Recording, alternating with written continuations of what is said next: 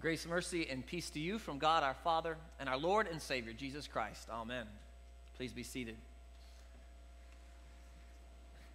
Today, in our gospel lesson from Mark chapter 4, starting at verse 26, Jesus tells a parable about the farmer. And his point isn't to glorify the farmer, no, rather, his point is to describe the farmer as someone who gets to witness miracles on a regular basis. The farmer is the one who rises up each morning, goes about his work, goes to bed next evening, and all the while the seed that he has sown sprouts and grows in the field. What a miracle, what a remarkable thing the seed really is. That by itself, on its own, it, germinates and grows, but, but then within that little seed contains all of the information, all that is necessary to produce a plant that can abundantly bear fruit. I mean, think of a little tomato seed. Right? Maybe some of you start your tomatoes uh, early each year. And from a little seed that is so small can come not only this great big plant, a tomato plant, but it can bear pounds and pounds and pounds of tomatoes. Jesus uses the example of a mustard seed in our text as another very small seed, and yet it grows so large that the birds of the air can come and rest on its branches and take comfort in its shade. And all this germination happens of its own accord. There's nothing we can really do to make it germinate or, or, or make that, that those first stages of the seed grow. No, indeed, the Greek here itself, the Greek word implies automatically. The seed is sown, and automatically within itself, it begins the process of germination and sprouting. And Jesus says, so it is with the kingdom of God. God's word is that seed, and God's word is what causes the, the growth of his kingdom. God's word is what wakens hearts and minds and souls to the truth of the gospel and points people to all that God has done in Jesus Christ. We are those birds, us believers and all who will believe. We are the birds that come and find rest and comfort in the truth of the gospel. We are the ones who know that our sins are forgiven and we are right with God. Indeed, that's what it means to be a Christian. We are the ones who dare to live knowing that we are righteous before God. And not because of us, right? But because of all that Christ is and all that Christ has done. And that is remarkable. As remarkable as a seed germinating, the fact that the likes of us dare to say that we are right with God, because think about it when you look at the world and our lives in the world. There is so much that's not right. I mean, our eyes see it all the time. So much that's not right in, in our families, maybe. So much that's not right in our health or our finances, and just on and on in our work.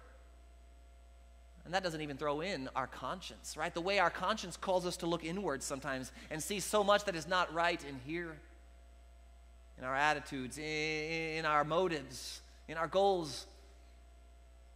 But then you also add to it what God's word has to say about the matter. And God's word, though it is the seed, the kernel of the gospel, it is at the same time that which does point out all that is not right. In case our conscience or our eyes miss something, God's word is the one that points out where sin is at work in us, where there is brokenness. It causes us to reflect on the lives that we live. Are we discontent in life, right? Discontentment doesn't seem that much like a sin, and yet it can lead to so much that is sinful. Are we discontent with our situation in life, not trusting God, but deciding to seize control of life on our own terms? Are we discontent with the people that God has placed in our life? Have we been angry lately? Have we spoken in ways that have caused harm to others only because we want them to hurt like we hurt? Have we been negligent with our responsibilities? selfish maybe in our work, greedy in the way that we handle the things that God has blessed us with, and in relation to others? Have you been lazy? Have you lusted? Have you taken things that aren't yours? Have you honored the Sabbath day, given God his due? Right? These are all the ways that we can start listing out sin, and it doesn't take long for any of us to find ourselves on that list and find that there is so much that is not right and yet, then God's word comes like a little seed, the gospel. And it reminds us that there is only one simple approach to sin like that, and it is simply to repent. To repent. Because repentance means just that to turn away from our sin and turn to Christ. To recognize that because of everything that Christ was and is as true God and true man and all that he has done, you and I can live our lives today and every day knowing that we are right with God. All may be wrong out there, but we are right with God in Christ. And it's in that knowledge that we can have peace. And, brothers and sisters, that is like the little seed that our Lord refers to a seed that really does grow and produce abundant fruit. You want to talk about something that makes a difference in a life? It's the certainty that the gospel provides, the peace and the comfort that the gospel provides, that we can call ourselves right before God. Such a simple message. Such a simple truth. And yet, it is the truth that has changed hearts and minds and lives for 2,000 years and continues to do the same. And because of that truth, why wouldn't we want the whole world to know? Why wouldn't we sow this seed wherever we go? I mean, think about today's Father's Day. What an important message for fathers to take to heart. To know that it is our calling in life to live out in this way, right? To be living testimonies of this seed that God has planted in us. The hope that is ours in the gospel, that because of Christ and what he has done, we are right with God. How are we living that out in our families? How are we letting Christ's forgiveness flow back and forth in our relationships to our children? Are we are we living out the hope that is ours in such a way that we're willing to let our children see us come to them and let them hear the words on our lips Son, daughter, I'm sorry. I'm sorry for the way I handled that. The words that I spoke, how hard I was on you. Do you forgive me? To let the words of the gospel flow from their lips too, to give them that opportunity to say, Dad, I love you, I forgive you, it's okay. Are we letting them see us do the same with their mother? To give her the same opportunity for us to confess our sins and say the same to her and hear the words of forgiveness coming from her and, and responding to with forgiveness. Dads, are we taking seriously the need for our children to see us in love with God's word? To see us take it seriously? Taking moments to bring them and lead them in a study of God's word, to cut off the video games and the TV once in a while, to take a few minutes before bedtime to gather the family and discuss what God's word means. And why? Because they need to see you need it. They need to see you turn to it. Dads, are we taking the opportunity when our children come to us with their fears or their worries or their anxieties and the troubles in life, whether they're in pre K or high school or in college or they have kids of their own? In the midst of talking it through with them, taking the time to lead them in prayer over it letting them see you pray for them. These are the kinds of seeds that bear fruit. Fruit that will produce an abundance in their life. Right? The gospel, the word of God, in that way has the power to do such things. And it goes beyond our families. It's a responsibility we all have to recognize the need of the world out there for the seed of the gospel and you know, that seed is planted not just here through the pulpit and what I do on this day. It's an important part of it, yes, but it happens just as much in your lives. In the opportunities that you see, in the brokenness of your friends and coworkers and your family's lives, to let them know that despite the brokenness, there is a Savior and there is rest and comfort and peace that can be found in Christ, to lead them in prayer it may not seem like much. It may just be a moment or two, a few sentences that you say, but it plants a seed, a seed that the Holy Spirit alone can cause to germinate and grow and produce fruit. We're called to be the ones who scatter this seed.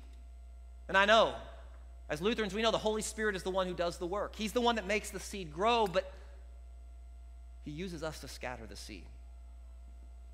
And so it is in that way that I think so often we as Christians and Lutherans, maybe especially, people sometimes ask if we're interested in outreach, and our stereotypical answer is often no.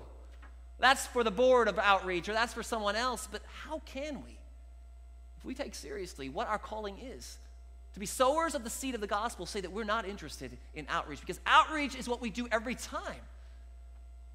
Every time we share our faith, every time we seize the opportunity to share our faith. And you know, surprisingly, our church body, the LCMS, hasn't done such a bad job of that over recent years. I know we're stereotypically sometimes as Lutherans seen as people who don't do much outreach, but I was just at district convention this past week, and a part of that is hearing all the various reports from our district president and synodical president and so forth. And actually, in terms of outreach over the last 10 years or so, the LCMS has done quite a bit. Indeed, I was surprised to hear that 35% of our adult members have been brought into the church through evangelism and outreach. That's staggering. 35%. They weren't here, they aren't in church, in a Lutheran church, because they were born that way or their parents or grandparents were Lutheran. They were brought in because someone took the opportunity to, to plant a seed, a seed of the gospel, to answer their questions, to encourage them in the midst of their troubles, to pray with them, and to point them to Christ. Fact, the LCMS is doing a lot better than a lot of mainline denominations in this. We're all declining a little bit in this secular world, but but actually, our rate of adult evangelism and outreach is actually uh, outdone in the last recent years many other denominations Southern Baptist, Methodist, Roman Catholics. And I don't say that to brag. No, rather, I think it's simply a reminder of how vital it is for the church, for God's kingdom, for us to be sowers of the seed. Because where the seed is sown, it sprouts and grows according to God's will. And so our Lord's mandate then is to take the seed to the end of the earth, right? Go and make disciples of all nations, baptizing them in the name of the Father, Son, and Holy Spirit, and teaching them to obey all that I have commanded you. For the love of the Lord, sow the seed. Believe. And because you believe in this gospel so much, then speak, right, wherever you go. And I know we can all shake our heads sometimes and lament at the way our world is changing in regards to the church a world uh, and a culture that's growing so secular, where so many seem to be leaving the faith, and indeed many are. Although it's good to know, at least, that the number of consistent, diehard, if you will, Christians remains the same in our country. People who are in church regularly, who pr- practice their faith regularly and consistently, that percentage has not declined. Most of those who are falling away are those who are nominal in their faith, mostly. Now that they live in a world where the faith is not seen as such a good thing, the church is not seen as such a good thing, maybe it's no surprise that many are drifting away. But at the same time, I think it can be seen in an exciting way for you and me. It means more and more the church is being refined. More and more, the average Christian encountered on the street is not going to be someone wishy washy in their faith. No, rather, it's going to be someone who knows the hope that is within them and is willing to plant the seed home. It's good news for those of us in love with the gospel. It's good news for a church like St. Paul. It refines our focus, and it helps us see that almost everyone we encounter out there has a need for the gospel, has a need for prayer, has a need for encouragement, has a need for Christ. Like a campfire, right? In the dark of night, right? The church becomes a beacon of hope. We can let our light shine in the darkness, as Christ said, so that by our good deeds others may see and give glory to our God in heaven. And truthfully, it doesn't take much for God to do the work of growing his kingdom. I mean, Jesus uses the image of a seed, right? Something so insignificant. You drop it on the ground and you never be able to distinguish it from the dirt. And yet, from something so small, God grows amazing things. And God has always worked that way through his church. I mean, consider in the scriptures a story like Gideon. In the days of Gideon, described in the book of Judges, Israel was hiding. Literally, everyone was hiding because the Midianites had come and uh, they were so numerous that it meant total annihilation and subjugation. No stopping them. And so Gideon's hiding in a wine press, trying to thrash out a little wheat to feed his family when the angel of the Lord comes and calls him to be the one who will deliver God's people. And Gideon can't believe it.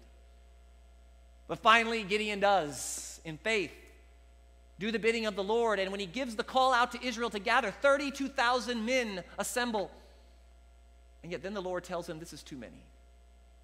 And he begins culling them down until there's nothing but 300 left. 300 men against a multitude. And yet, it's through those 300, through something so weak and insignificant, God, God does his great kingdom work. And God does it through us, through you. In the midst of your circumstances and your brokenness, you, you have the hope that's within you.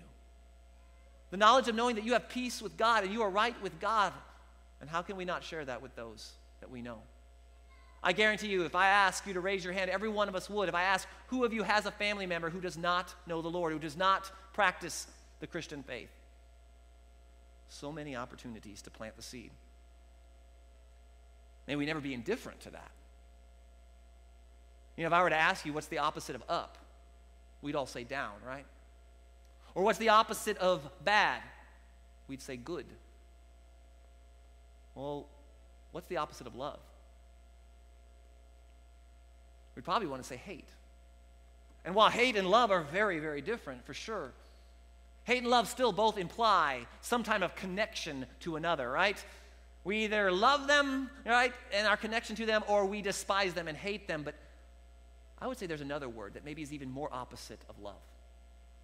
Not just hate, but indifference. Indifference means that we could care so little about someone that they're not even on our radar. We take no notice, we have no concern, no care whatsoever, not even enough to hate them. How easily sin and our own selfishness can lead us to indifference toward the world. We can become so focused on ourselves that we lose sight of what God gives us the opportunity to do by simply speaking to the hope that is within us and planting the seed home. May we never be indifferent to this calling as God's people. Isaiah 55 promises us that the Word of God is like a rain shower. It goes out across the earth and it waters the earth and causes what? Seeds to sprout. It never returns empty. God has called us, all of us, to be sowers of the seed.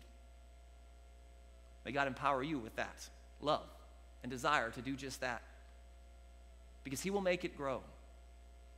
God will always cause his kingdom to grow.